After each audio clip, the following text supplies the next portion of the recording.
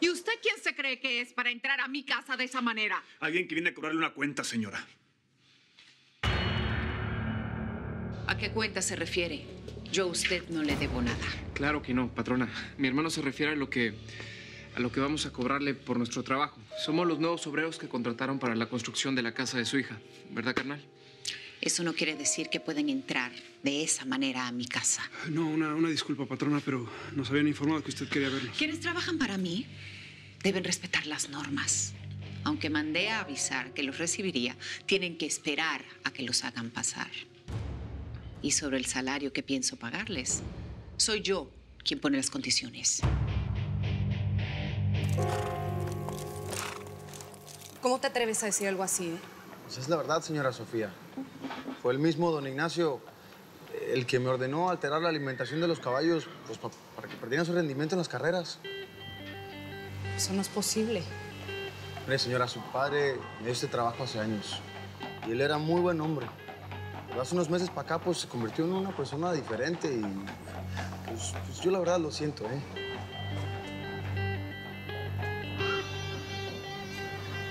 ¿Mi papá? Esto tiene que ser un malentendido. Lamentablemente no lo es. Encontré este documento en la oficina de tu padre. Es un acuerdo que tu padre le firmó a Valverde para venderle la cuadra en 50 millones. Pero solo pusieron en el documento de venta 10 millones.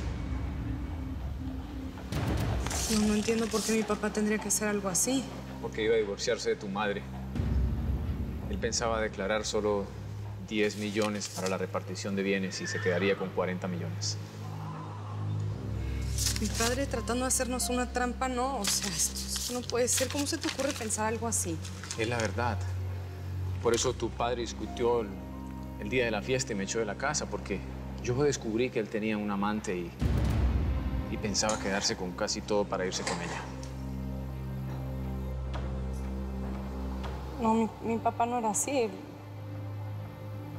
Me adoraba, nos quería a las tres, o sea. No. Yo voy a llegar al fondo de todo esto. Sea lo que sea, tengo que descubrir la verdad. Tranquila, señora Flores. Ya tenemos sus datos. Ahora le voy a pedir que trate de recordar con lujo de detalle todo lo que pasó esa noche. Voy a tomar un poco de agua. Bueno. Yo sabía quién era Alma Gallardo. Apenas la vi llegar intenté ayudarla, pero fue imposible, señor. Cayetana se puso furiosa al saber que Alma esperaba un hijo de don Ignacio. Se la llevó a la terraza de atrás y me pidió que avisara a la familia.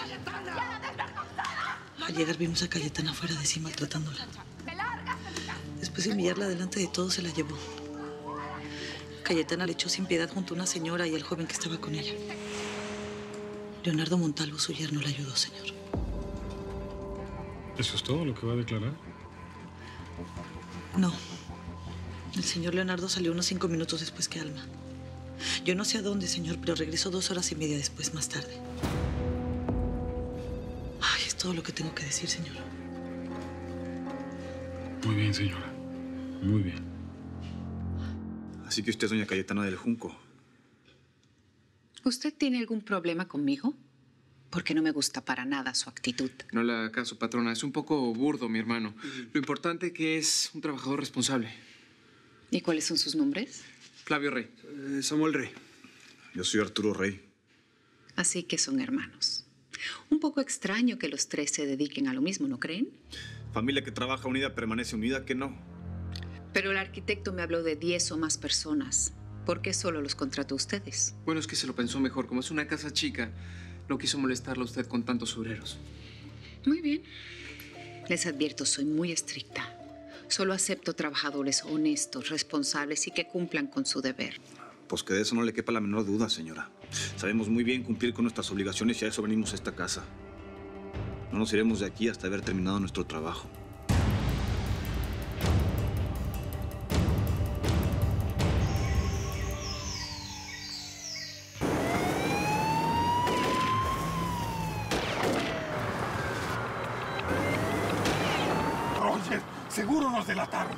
No nos pelamos. Tú cállate, acelera, acelera.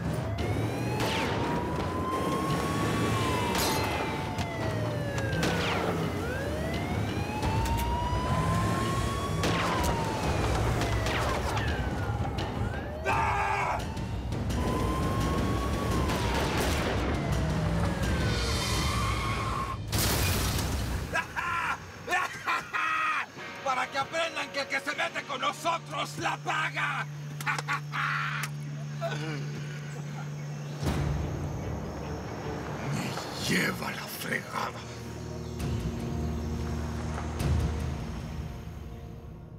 Hombre, ya, déjenme en paz. Esa mujer es insoportable, no la puedo ni ver. ¿Y cómo esperabas que reaccionara después de la forma en que entraste, Arturo? Sí, la verdad casi la riegas, Arturo, sacando la pistola y diciéndole quiénes somos. Esa mujer va a pagar por lo que le hizo a mi hermana, se los juro.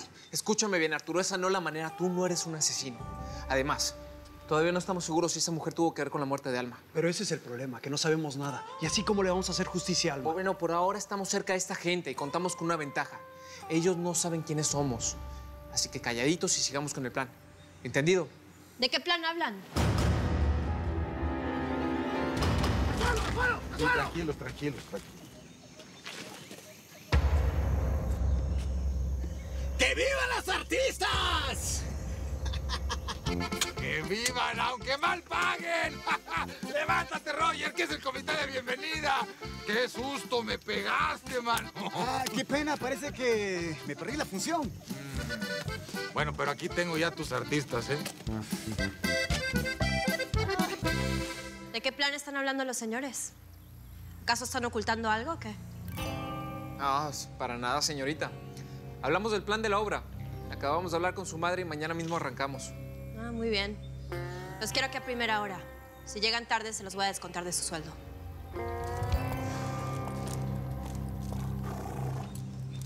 Esa condenada es la peor de todas. Si se muerde la lengua, se envenena la condenada.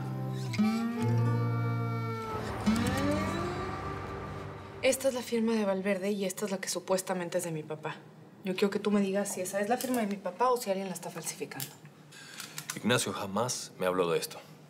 La firma parece auténtica. Bueno, aunque podemos mandarla a analizar. ¿De dónde sacaste este documento, Sofía? Leonardo lo encontró en la oficina de mi papá. Ruiz, eres su amigo y su abogado. Yo necesito que me digas si mi papá sería capaz de hacer algo así.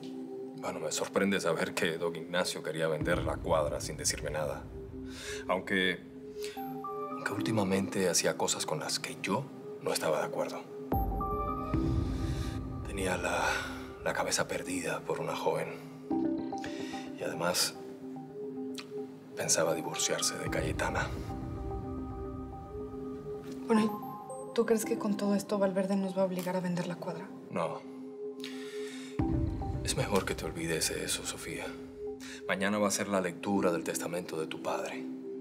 Estoy seguro que se preocupó por no dejarlas desamparadas. El dinero no me importa, Ruiz. Yo ahorita lo único que quiero es, es a mi papá. Él era el mejor hombre del mundo y lo era todo para mí. Es...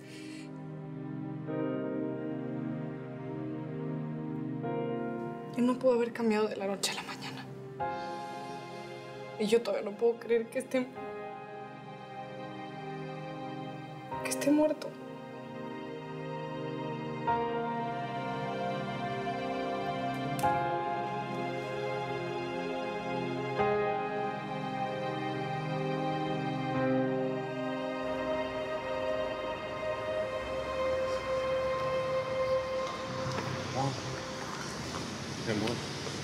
Quiero estar en esto, por favor. Cuéntame qué te dijo Ruiz.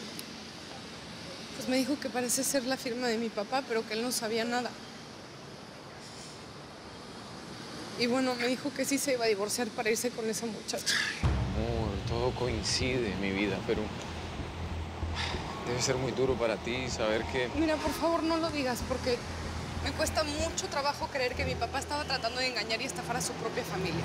Pero permíteme ayudarte. Yo quiero estar contigo, apoyándote. Mira, perdón por haber dudado de ti.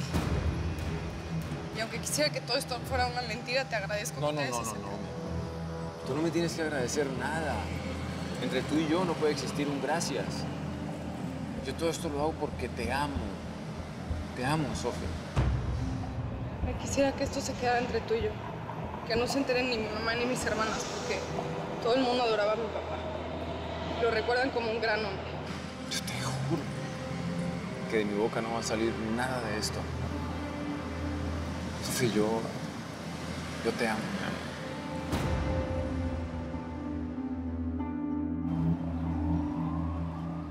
Pues yo soy capaz de hacer cualquier cosa con tal de hacerle justicia a mi hermana. Mide tus palabras, Arturo, también tus acciones. No te dejes llevar por el deseo de venganza. Mira, discúlpalo, Fernández. Solo que entiéndenos. Solo queremos asegurarnos que vas a seguir con el caso de la investigación de Alma. Ya sabemos que fue a visitar a Cayetana del Junco. Y suponemos que es por la muerte de nuestra hermana, ¿no es así? ¿Cómo se enteraron? Eso no tiene importancia. Queremos saber lo que te dijo. Hay un testimonio importante que nos llevó a una pista que vamos a seguir. Pero mi deber es mantener el secreto del expediente. Y el de ustedes, mantenerse dentro del margen de la ley, porque no importa el afecto, el cariño que yo les tengo, por ser los hijos de mi gran amigo. En paz descanse. Si ustedes deciden cometer locuras, nada los va a proteger. Mientras hagas tu trabajo, Fernández, no va a haber ningún problema. No me gustan para nada esos obreros. Me parecen demasiado orgullosos y arrogantes. Son buenos muchachos, señora. Pero de todas maneras voy a hablar con ellos para que se comporten un poquito más respetuosos, ¿eh? De todas formas, voy a hablar con el arquitecto para así quedarme más tranquila. No, yo ya lo hice, señora. Y fue él el que me los recomendó. Así que, bueno, tengo cosas que hacer. Con permiso, señora. Espera, Soledad. Sí. Quiero que ordenes que preparen este vestido para mí para mañana. Sí, señora. Vamos a tener una cena muy especial. Los Saldívar regresan de Europa. ¿Los Saldívar? ¿Viene Verónica? ¿La señorita Verónica? Sí, sí. Sí. Posiblemente vendrá. Pero mucho cuidado con acercarte a ella. Ay, señora. Es que la última vez que vino la niña pues tenía 10 años. Y yo solamente pude verla de lejos. Es mi hija, señora. No vuelvas a repetir eso. Verónica dejó de ser tu hija cuando la entregaste en adopción a Miranda. Usted no me dejó otra salida, señora. Usted me puso como condición eso para darme trabajo. Yo estaba sola en la calle, señora. Estaba muerta de hambre y de frío, pues. Así como. Si usted me hubiera tendido la mano, señora. Yo jamás hubiera renunciado a mi niña. Yo no podía recibirte como una criatura y tú tomaste la decisión. Y una vez que firmaste esos papeles, perdiste todos tus derechos sobre ella. Señora. Ni siquiera me la dejaron ver cuando nació, señora. Lo único que tengo es una foto de cuando hizo su primera comunión. Señora, es mi hija, señora, ¿me entiende? Soledad, te repito para que te quede bien claro. Verónica es la hija de Miranda y Octavio Saldívar. Y de ese tema no se habla más, ¿entendiste? Sí, señora. Mañana no quiero que haya nada sucio en la casa. Y eso incluye tus lágrimas.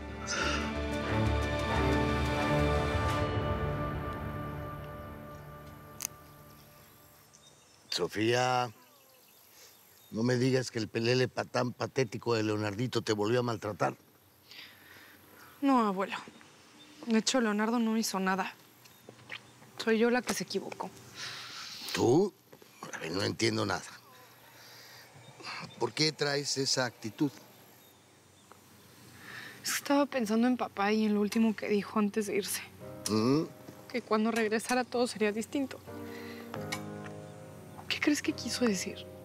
Bueno, yo creo que se refería a tu madre. Supongo pensaba separarse de ella. Abuelo, ¿tú crees que mi papá era un buen hombre? Claro que lo era, mija. Y disculpa, pero no como el patán que tienes a tu lado. ¿Por qué sigues al lado de ese guiñapo? No sé. Supongo que me siento en deuda con él. Ok, pero el amor no es para pagar favores, mija. El amor es para dar y recibir felicidad.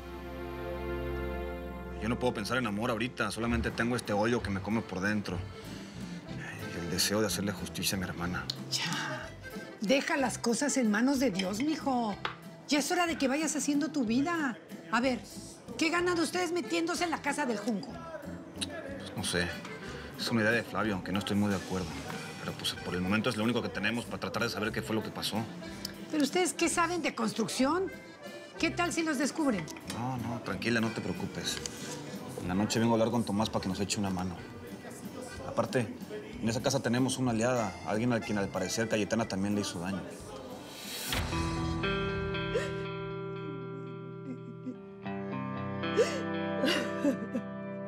Ella es Miranda Saldívar. Va a ser la madre adoptiva de tu hijo. Solo tienes que firmar los papeles.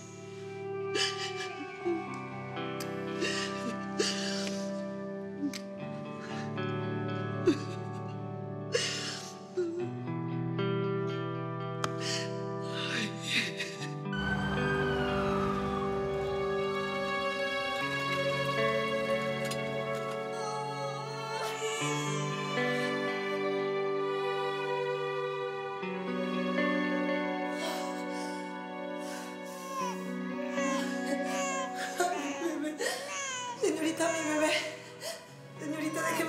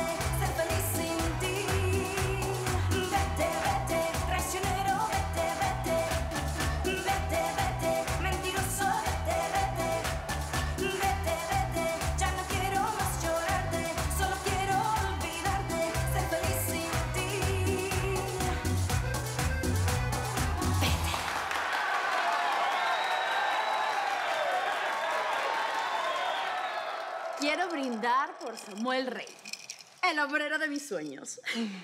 Ese es el peor de los tres, porque se la da de calladito, pero es el más alzado y falta de respeto. Ay, Andrea, pues ¿sabes qué? Deberías echarle el ojo al otro hermano, al tal Flavio.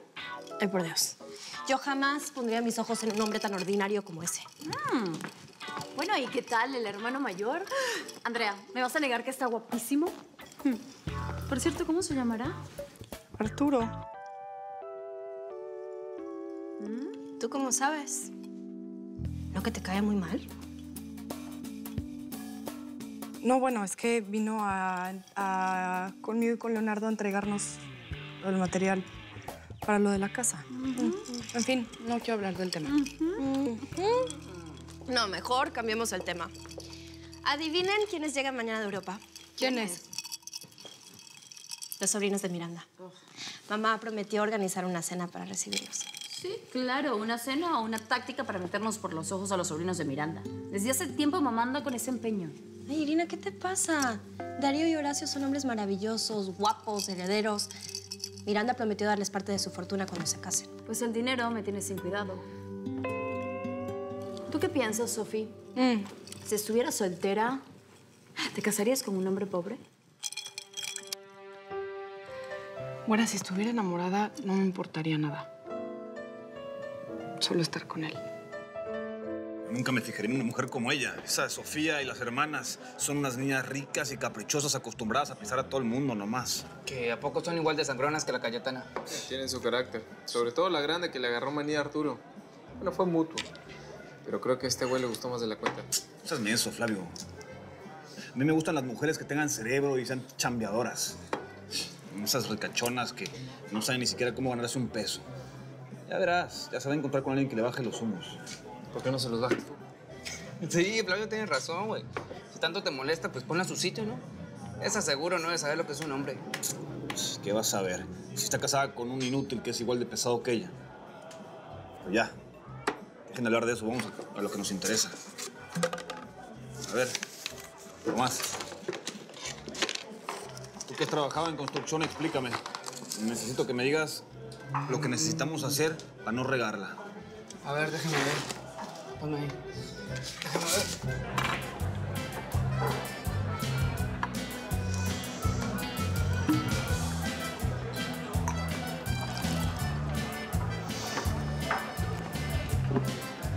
Dicen que si tomamos del vaso del otro, adivinamos los secretos. ¿Me brindas un trago? Claro, todos los que quieras.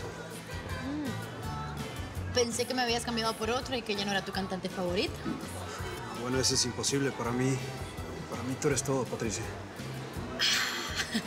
no está mal.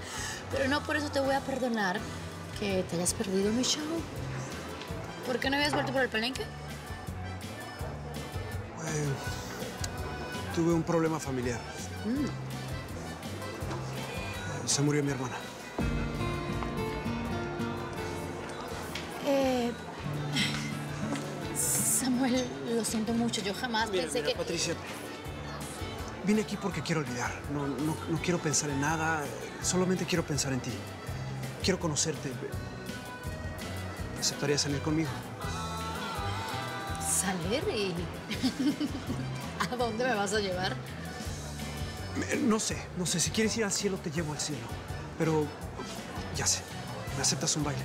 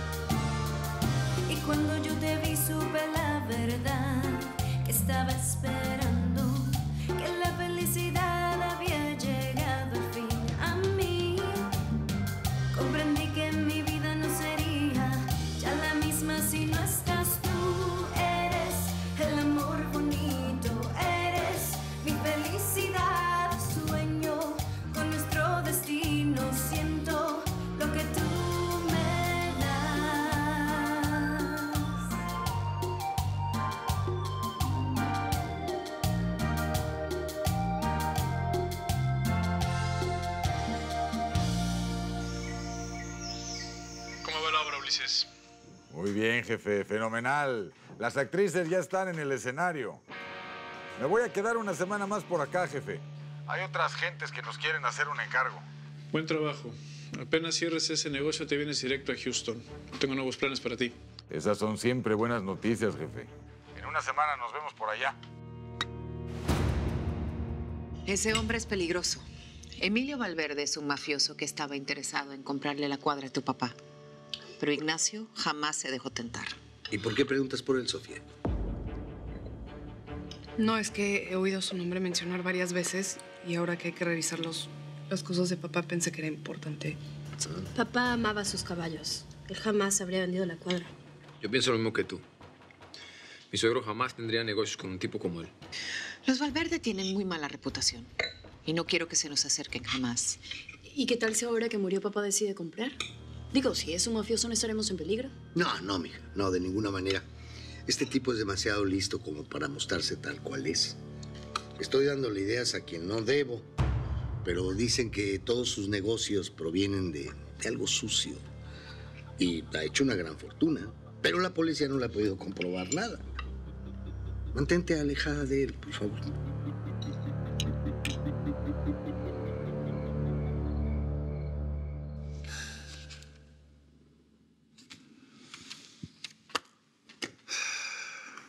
Todo este trabajo para que la niña Sofía juegue a la casita con su marido. Que debe ser un parásito.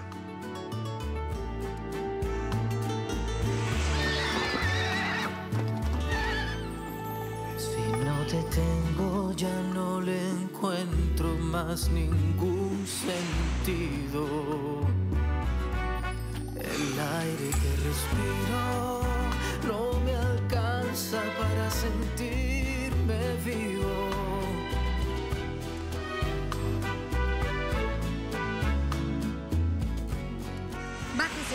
Hacer eso. Si su cabello estaba a punto de tirarla, se dice gracias, no sea malagradecida. Usted tuvo la culpa por venir conduciendo como un animal. No es más que un patán y un abusivo. Y usted es una niña malcriada y soberbia, ¿cómo ve? Tenga mucho cuidado con lo que hace. No es buena idea querer tomar un cemental por las malas. ¿Qué haces, Sofía? Nada, nada, no puedo dormir. ¿Sigues pensando en ese hombre? ¿Qué? Olvídate, Valverde, ¿verdad? No dejes que ese tipo te perturbe.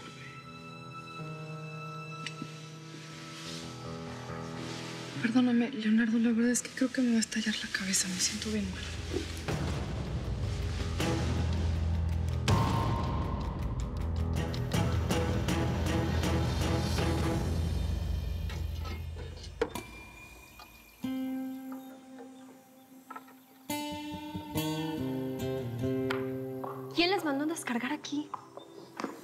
Me van a escuchar. Andrea, yo me encargo. Andrea, Andrea. Este es mi asunto. Buenos días. ¿Quién de ustedes es el jefe? Soy yo, señora. ¿Qué se le ofrece? ¿Quién les dijo que descargan este material aquí? ¿No se dan cuenta que están enfrente de la casa o qué? Sí, fíjese que sí. Pero si metemos el camión hasta la construcción, le voy a dañar el jardín. Pues bueno, no sé cómo le van a hacer, pero esto no se puede quedar aquí. Sáquenlo, por favor. Mire, para nosotros es menos trabajo si lo llevamos hasta la hora, pero después no se queje, ¿eh? Oiga, a ver, espéreme tantito. Le prohíbo que me hable en ese tono. Discúlpeme mucho, señora, no es mi intención ofenderla. Pero mucho ayuda el que no estorba. Sofía. Sofía. Ya va a empezar la lectura del testamento. Te están esperando.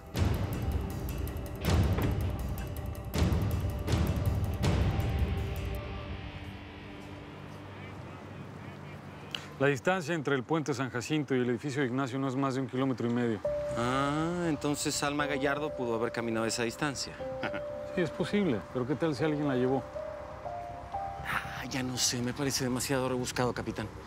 Además, recuerde que esto que estamos por hacer necesita una orden del juez, cosa que no tenemos. No, Cabrera, no hay tiempo para sacar órdenes ahorita. La evidencia que estamos buscando puede desaparecer en cualquier momento. Vámonos.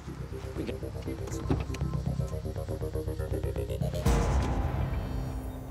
Ignacio del Junco, manifiesto mi voluntad con el deseo que se cumpla lo aquí escrito después de mi fallecimiento de la manera siguiente.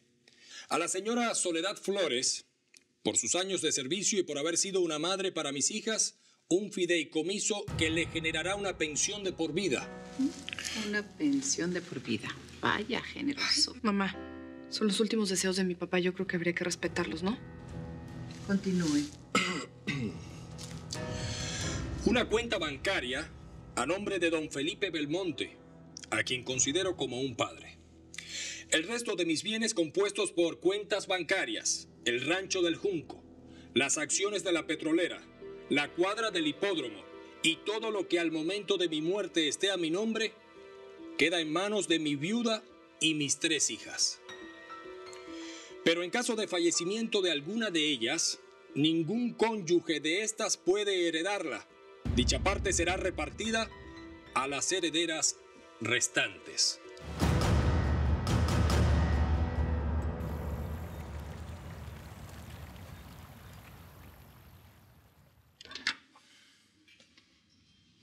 ¿Estás bien? Perfectamente. No me mientas. Yo sé que no te cayó nada bien la cláusula que dejó mi papá en su testamento. Ah, Eso no me molesta, mi amor, porque a mí nunca me ha interesado el dinero. Que no entiendo la humillación frente a todos. Ah, bueno, pero yo no creo que lo haya hecho por ti específicamente. Mi amor, tú sabes que mi verdadera fortuna eres tú. Yo no estoy en esta casa por dinero ni por herencias. Estoy por ti. Por favor, vamos a darnos otra oportunidad. Leonardo, yo quisiera, pero una cosa es lo que pienso y otra cosa es lo que siento. Es algo que no puedo controlar. Podemos comenzar de nuevo, mi amor. Yo estoy dispuesto a conquistarte otra vez, por favor.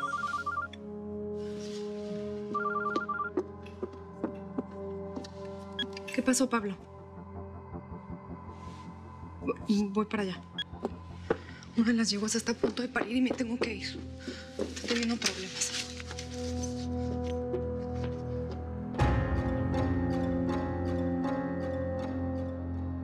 Que se le está volviendo una costumbre venir a mi casa, capitán Fernández. Discúlpeme, solo estoy haciendo mi trabajo. Le aseguro, no es nada personal. ¿Qué es lo que quiere ahora? Necesito revisar el departamento y el auto de su difunto esposo. En paz descanse. No entiendo por qué me acosa de esta manera. Yo ya le he dicho que no tengo nada que ver con la muerte de esa mujer. Con más razón. Debería estar dispuesta a colaborar conmigo, ¿no cree? No es más que una simple rutina. Permítame.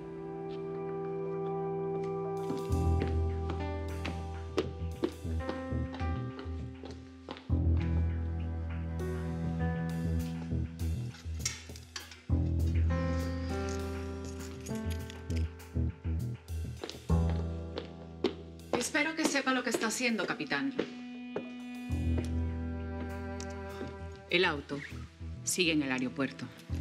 No lo he mandado a buscar desde que ocurrió la desgracia. Gracias. En cuanto termine el procedimiento, me encargo personalmente de traerle su vehículo, señora. Con permiso. Espero que llegue a la conclusión que necesita, para que así me deje en paz de una buena vez. Créame que nada me dará más gusto, señora Cayetana.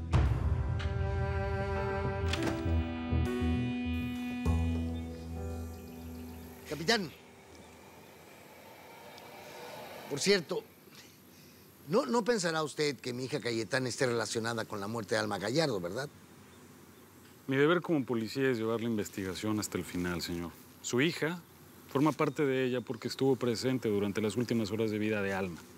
Si así le parece, le deseo mucho éxito en su investigación. Pero ojalá y esto ya termine pronto. Que tengan buen día, capitán. Igualmente, hasta luego, señor. General. General Felipe Belmonte. Un honor conocerlo, general. Igualmente. La pobre ni al campo quiso salir. Me llevé a las otras yeguas y pues cuando regresé me la encontré ahí. Es posible que le tengamos que hacer una cesárea, pero cualquier cosa me avisas. Señor, yo la veo muy mal. ¿Será que pierde el potrillo? No puedo- Pablo, no vamos a perder a ninguno de los dos. Van a estar bien. ¿Ok? Les recomiendo que le echen ganas, ¿eh? Porque el resto del pedido llega más tarde y también hay que descargarlo. Me lleva la fregada. No pensé que el trabajo terminara siendo tan pesado, carnal. Sí, pues te recuerdo que el plan es tuyo y estamos acá por alma. Échale. Así que nadie se raja. Otro. No, no. ¿Sabes qué? El otro camión lo metemos hasta aquí. Y si se daña el césped, pues ya es bronca de las señoritas, ¿no? cállate, que ahí viene la más cariñosa.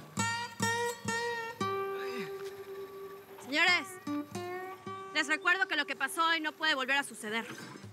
Por eso me voy a encargar de supervisar su trabajo personalmente. Ya le dije a su hermana que el próximo camión lo meteremos hasta acá, pero no respondemos por los daños. ¿Cómo dice? Si se daña algo, lo arreglan. Ustedes verán cómo le hacen. Nos quedó muy claro, señorita. No va a volver a pasar.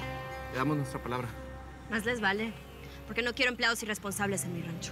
No, ni se preocupe. Si quiere después de esto le podamos el pasto, le bañamos los caballos. Un manicure. Siga por ese camino y le aseguro que va directito a la calle. Y regresen a trabajar. Esto parece un día de campo, pero no lo es. Cuando quiera le hago un favor yo, ¿eh?